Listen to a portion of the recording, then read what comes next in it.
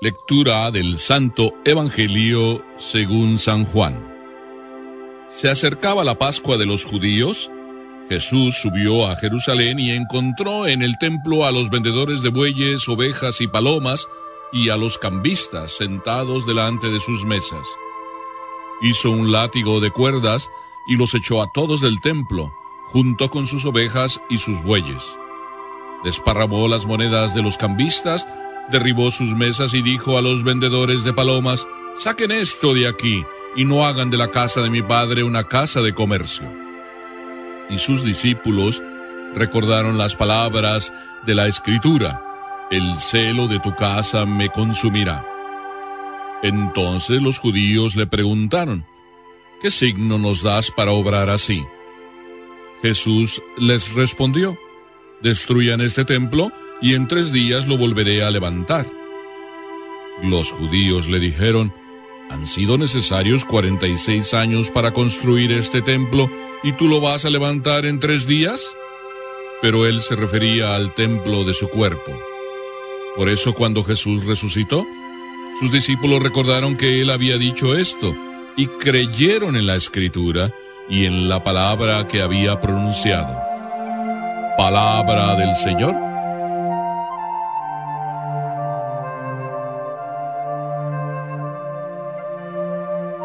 Coincidencias o diosidencias o las dos cosas a la vez o es lo mismo. Así sucedió. Sucedió un miércoles de ceniza en el santuario de Nuestra Señora de Guadalupe en Sacramento. Estábamos eh, celebrando hora tras hora el miércoles de ceniza y con él la imposición de la ceniza a cada uno de los católicos que venían para la imposición. Y ya sabes que el miércoles de ceniza es algo así como como especial, súper especial. Parece que salen hijos de Abraham debajo de las piedras y vienen los que tú nunca habías visto.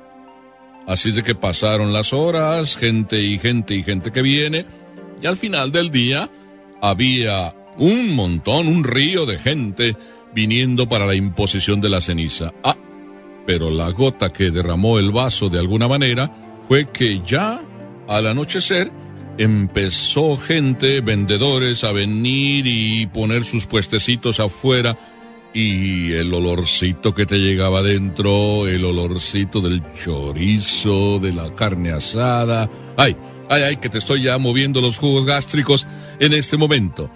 Miércoles de ceniza. Gente afuera del templo vendiendo carne, vendiendo chorizo. Ah, sí, con su olorcito sabroso y se olvidaron de que era miércoles de ceniza. Y el colmo es que también la gente que venía comía tan tranquilamente. Así es de que el vicario se acerca a uno de los vendedores y inmediatamente... ¡Qué coincidencias! Ahí viene el padre. ¡Qué coincidencias! ¡Qué casualidad! Ahí viene el padre. En esas circunstancias también estaban los camarógrafos de la televisión y tomaron cuenta de lo que estaba sucediendo. Ellos venían para hacer un reportaje sobre el miércoles de ceniza. Y la noticia, así como la tomaron, salió en la cámara de la televisión diciendo, se repite hoy la historia de Jesús expulsando a los mercaderes del templo. Claro, la noticia llegó a nosotros. Qué coincidencia, qué casualidad. Miércoles de ceniza, en el templo, vendiendo carne, vendiendo chorizos y alguna cosita más. ¿Coincidencias? ¿Coincidencia la de Jesús? Para empezar con la primera idea. ¿Coincidencia que se acercaba la Pascua de los judíos? No era coincidencia. Jesús se acercaba para la Pascua, como un buen judío que va a Jerusalén para la Pascua. Y este aquí, casualidad, se encontró ahí en el templo y se encontró con los vendedores de bueyes, ovejas, palomas y cambistas ahí sentados en sus mesas. ¿Casualidad que Dios nuestro Señor Jesús se presenta? Para Dios no hay casualidades. Para Dios no hay coincidencias. Todo está bien calculado. Calculado es que Jesús llegue al templo porque quiere cumplir con la ley. Quiere estar en el templo para la Pascua. No es coincidencia. ¿Coincidencia que llegue Jesús y se encuentre gente vendiendo? No es coincidencia. Vendían ahí y vendían en toda circunstancia. Pero claro, la circunstancia de la Pascua era un momento muy bueno para vender. No era coincidencia, los cambistas, los vendedores estaban ahí, bien calculado que lo tenían estar ahí. Por consiguiente, Dios que tiene su plan, Jesús que va a la Pascua y va a Jerusalén, estos hombres que tienen su plan, y Dios que también tiene su plan. No son coincidencias. En aquel entonces no eran coincidencias. Dios tenía su plan y su enseñanza para aquella circunstancia, y la dejó bien claro Jesús cuando respondió, no hagan de mi casa un comercio. Dicho de otra manera, con Dios no se negocia. De Dios no hay que sacar comercio. Pero esto yo creo que tú lo puedes entender perfectamente. Y lo puedes entender perfectamente porque también hay otra frase que se dice por ahí, con el amor no se negocia. El amor no es un negocio. El amor no es 50-50. El amor es la entrega de uno al otro, de los dos, uno que se entrega y el otro también que se entrega, ciento por cien. Pero en el caso concreto, Jesús dice, la casa de Dios no se puede convertir en un negocio. Entonces la historia de Sacramento, California, era bien clara. Se repite también la historia. Y lo que el sacerdote ahí hizo fue decirles, oigan, hoy simplemente no es día para vender carne. Es miércoles de ceniza. Se debe ayunar. ¿Cómo ustedes están aquí promoviendo lo contrario de lo que se debe vivir? Y además, como diciendo que esto se puede hacer porque aquí lo estamos haciendo en la iglesia. Es claro que se termina llegando a pensar así. Pues hoy no se debe comer carne, pero aquí mismo en la iglesia la están vendiendo. Bueno, pues aprovechemos. No fue coincidencia que sucediera aquello mismo, porque ahí el sacerdote les dio una lección a los que estaban vendiendo. Se repitió la misma historia de Jesús. Pero ahí queda, no se debe negociar. ¿Me escuchaste bien lo que está diciendo Jesús? No se debe usar la casa de Dios para convertirla en un negocio. ¿Qué nos quiere decir Jesús? Que cuando tú y yo vamos esforzándonos precisamente por entrar en contacto con Dios, no lo debemos chantajear. No lo debemos chantajear. Nuestra oración, nuestra relación con Dios no es un chantaje. No debemos usar las cosas de Dios para buscar lograr nuestros propios fines, nuestras propias intenciones. Qué hermoso que hoy también Dios nos siga hablando a ti y a mí. Y aquí vengo ya con la tercera idea. Ya tenemos el problema, las circunstancias, ¿sí? Ya tenemos que Jesús da una respuesta para aquel momento. ¿Y para hoy qué? Yo creo que este Evangelio también no es una coincidencia que hoy lo leamos. Y tampoco es una casualidad. Es diosidencia para ti y para mí. Porque muy fácilmente nosotros convertimos nuestras relaciones con Dios en un chantaje. Parece ser que a veces nuestra oración es simplemente una serie de súplicas. Y no solo una serie de súplicas, sino además hasta amenazamos a Dios. Y muchas veces estamos en la iglesia solo para eso, para estarle exigiendo a Dios que nos cumplan nuestros gustos, nuestras intenciones, nuestras ilusiones, nuestros modos de vida y, encima muchas veces nos enfadamos. A mí no me sorprende que muchas personas lleguen a veces y van detrás de sus juditas y muchas veces hasta lo amenazan y le dicen te voy a meter en el agua eh, hasta que no me concedas lo que yo te pido. O a veces vamos detrás de la Virgen y estamos ahí como rezándole y dice que le ponemos una veladora y detrás de la veladora le decimos, ay Virgencita, aquí te pongo la veladora, tendrás que, tendrás que. Y ahí le soltamos la retaíla de peticiones y además le decimos, y me la tienes que conceder.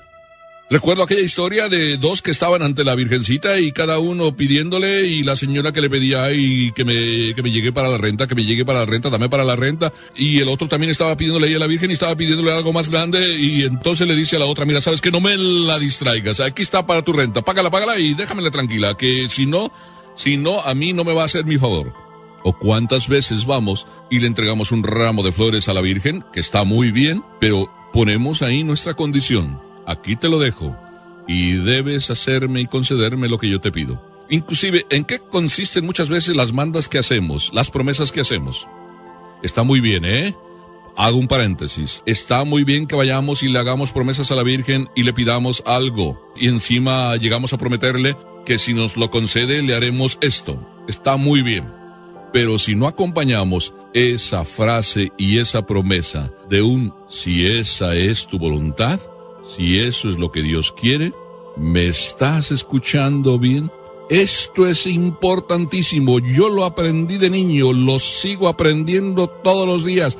Y cada vez que hago una petición a Dios y a la Virgen y a quien sea, Siempre la acompaño de esa frase que no la digo en balde. Si es tu voluntad, si es que Dios lo quiere, si es que tú lo quieres, si Dios nos da vida y licencia, todas esas frases hermosísimas que decimos que no son como una cosa que de sobra decimos, es la esencia de toda petición y en esa petición está claro el Espíritu cuando oramos. No andamos buscando chantajear. Cuando entonces Jesús nos pone este Evangelio en el día de hoy para que lo reflexionemos, qué maravilla, no son coincidencias, no son diosidencias. A lo mejor tú eres de esos que hacen chantaje con Dios cuando oran. Y tus oraciones son un chantaje, ¿no es verdad que pueden ser? Por eso vuelve a ser verdad. No es una coincidencia, sino una diosidencia y no es una casualidad sino una diosidad que hoy volvamos a repetir. No usemos la casa de Dios. No usemos nuestra relación con Dios para buscar solo sacar provecho y cosas materiales andar buscando detrás de ello, sino más bien, si necesitamos alguna cosa material, podemos pedirla, pero que solo sea para que eso nos lleve a Dios. ¿Cuántas veces decimos, ay Virgencita, si me saco la lotería? ¿De qué te serviría sacarte la lotería si con la sacada de lotería no terminas bendiciendo y alabando a Dios y buscando a Dios? ¿Cuántos se pierden después de sacarse la lotería? Por eso que tu lotería más grande sea que en cada instante veas que no son casualidades lo que pasa en tu vida, no son coincidencias que pasan en tu vida, son diosidencias. ¿Me escuchaste bien? Qué maravilla. Agarremos la onda de Dios. Y además estaba ya como terminando, pero quiero decirles, ¿por qué no agarrar la onda de Dios? ¿No está claro lo que nos está diciendo Jesús? Y no creemos en Él. Yo sí creo. Y creo por qué. Porque Jesús me lo dice. Jesús mismo lo dijo y respondió a todos ahí. Les dijo, ¿cuál es la razón? ¿Cuál es la prueba? ¿Resucitó Jesús? ¿Lo crees? ¿Verdad que sí? Entonces esa es la prueba. Pero además no solo Jesús resucitó como Él lo dijo, ¿verdad que resucitó como Él lo dijo? ¿Lo crees? Esa es la prueba. Jesús no solo resucitó como Él lo dijo, todo lo que sucedió sucedió de acuerdo a lo que la escritura decía de Él. ¿Lo crees? A esto a lo mejor no me sabes responder, no me sabes responder, pero léete la escritura, léetela de pies a cabeza y verás que todo lo que estaba predicho de Jesús se cumplió. Entonces lo que ahora Jesús nos dice, que no hagamos la casa de Dios un negocio, está claro, es Dios el que nos habla. ¿Lo creemos? Si lo creemos, entonces pensemos que hoy nos está hablando y que nos dice, no ores chantajeándome, búscame a mí cuando ores y búscame a mí detrás de las cosas que buscas, para que al final de la vida, eso nos dice Jesús, para que al final tú y yo estemos en la casa de Dios para siempre, la casa eterna.